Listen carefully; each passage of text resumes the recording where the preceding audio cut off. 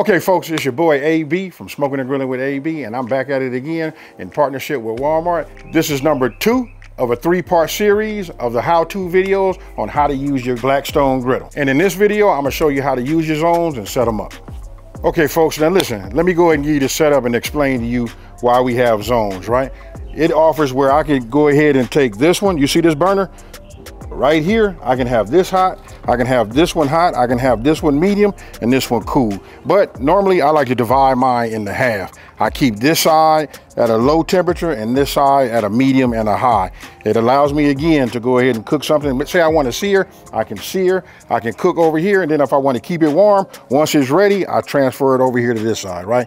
Super easy. Now let me show you how to set it up. Now, if you take a look right here, look, we got 768 square inches of, of cooking area with four independently heated zones. And this patent omnivore griddle plate with built-in wind guards is designed for rapid heating and heat maintenance across the griddle surfaces while preventing warping and using less fuel. Now listen, I don't know about you guys, but listen, the best teacher is when I actually can see it and almost put my hands on it, right? So let me show you guys. You guys come on in here.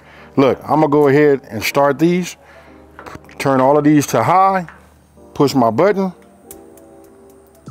and that right there lit one, two, three, four. Now I set all of these on high and I usually let it run for about five minutes. Now the Omnivore griddle plate right here requires 38,000 BTUs, right? Which actually requires less, fewer BTUs, you know, to produce a higher heat. And we all know what that means. That helps with your propane efficiency. All right, so like I told you guys, I start off with an even high, right? Bring everything up to temp like I like it. Now I'm getting ready to reduce it, right? So I want you guys to put that imaginary line right here in your mind Everything on this right side, this will be low temp. Look at that. I went extremely low. Now this will start to cool on its own gradually, right? Everything over here, this is gonna be my cooking zone. I'm gonna use two burners, drop this down to about a medium, right? And guess what, folks? I got some bacon to put on here. And then, you know what? Bacon is great.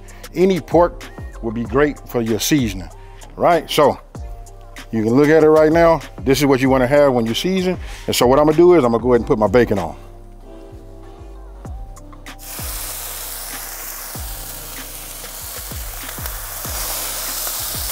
Now, you can hear it's nice and hot.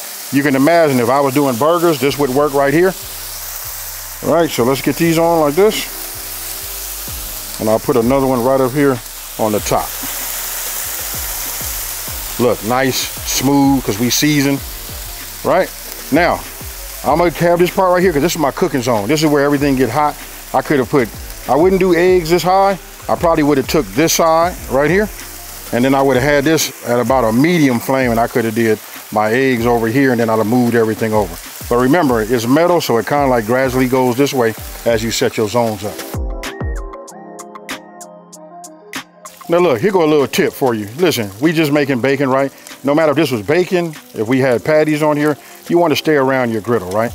You have to like look at it.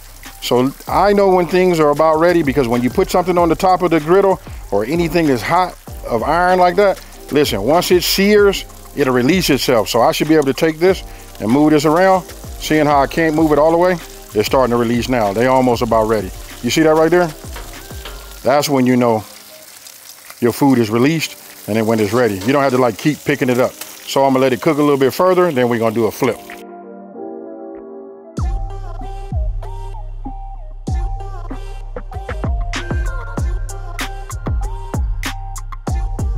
Now, you guys see that my bacon is done, right?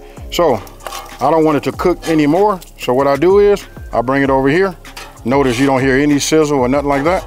This is my cool zone. So this is where I take everything that from the hot and I transfer it over here. Remember, we got that imaginary line right here. I got these two burners. These are on super low, and this will keep all of my food warm. Now listen, after I explained the zones, you guys got that. I want to show you something that I do like about this that like really like leveled it up, right? So if you take a look right here, listen, I love the fact that it has a side shelf, you know, cutting board. Listen, it's removable. I can pull it out, do what I got to do, chop. We got veggies. We want to put them on the hot zone. We put them over here. We get them soft, then we move them over, right? Especially if we're doing like a fried rice recipe, right? And then take a look right here.